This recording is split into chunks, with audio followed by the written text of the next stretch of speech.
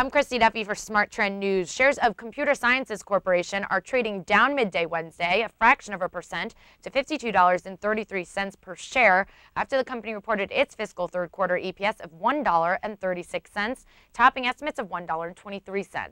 Revenues for the quarter were flat year over year at $3.95 billion, in line with estimates.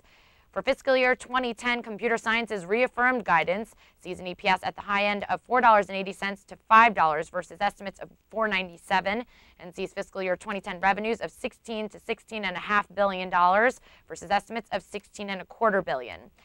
Commenting on the results, the CSC chairman and chief executive officer Michael Laphen said, quote, despite the sluggish pace of the worldwide economic recovery, our revenue held firm both sequentially and year over year as our margin rates and earnings continue to improve. I was particularly pleased with our new business awards of $6.8 billion, significantly above last quarter and last year.